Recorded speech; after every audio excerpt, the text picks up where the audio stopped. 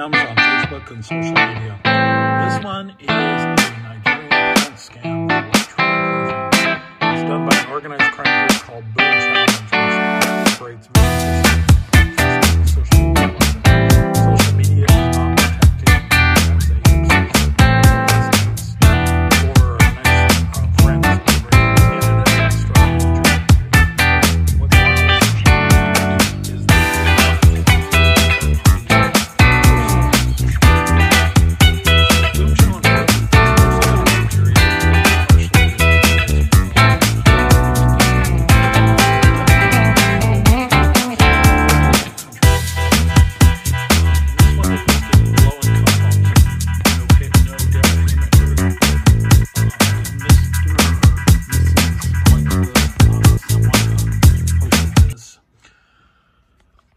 Um, they focus on people who need housing, low income housing, HUD, affordable housing, and then they throw this Nigerian prince crap in. A Nigerian prince scam has been around forever. So in this situation, person's supposedly going to get $10 million. Um, that's US dollars. It's a huge chunk of change, of course. But here's how a Nigerian prince scam works. First part is theft of identity. They're going to get you to fill out an application or commit to who you are, what you are, everything pertinent about you. So theft of identity begins. Second part of this is the scam itself with the fraud with the financial portions.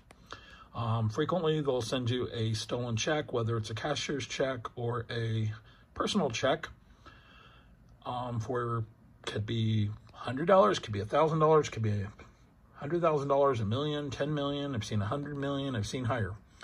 Whatever it is. If you actually would receive the check, the check will bounce in seven to ten days. Uh, they convince the victims to send a portion to them.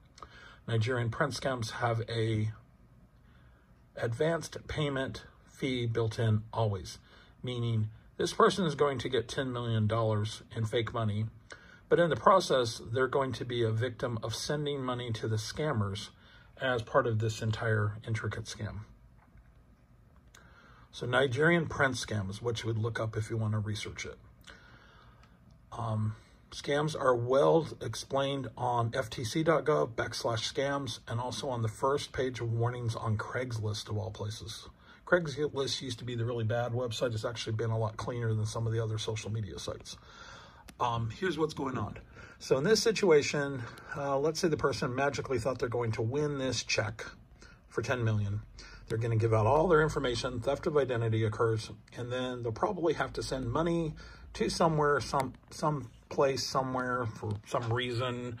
Um, if you're selling products online, usually they ask you to deal with a shipper, or it could be whatever.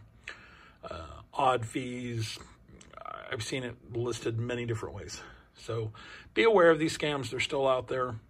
Um, and you'll encounter these a lot if you sell anything on social media, marketplace, or on a classified ads listing.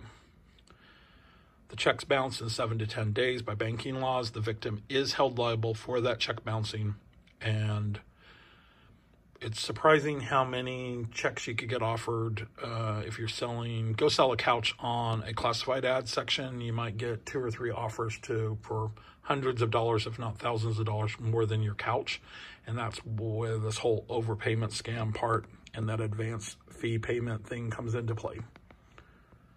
So learn and report. ftc.gov backslash scams. And then we're going to continue down on this Facebook page just a little bit. Let's see what else is, appears down in here. Oh, there's another one, Boom Challenge, the organized crime group on what on Facebook that does out of Nigeria. They advertise houses that they don't even own and get people to fill out applications for theft of identity and to send money for properties they don't even own. Oh, and here's another twist of my Nigerian prince scam. Instead of that $10 million check, today may you become so financially stable that God will use your pocket to bless others. Amen. Nasty people. They don't care whose name they use God, Allah, Jesus, whoever. They don't care. They just want their money. They're scammers. Um, most of these people are in Nigeria or India. There are US based scammers, there are scammers based in other countries. But this is that nasty boom challenge group um, which I hope eventually gets totally taken down. Um, be sure to watch DVR. That's D E E V E E A A R on YouTube. He's one of the scam fighters who takes down call centers and call floods them. I'm hoping that more people like him get involved in taking down this organized crime group on Facebook and social media. Social media is not protecting you. Be aware of it.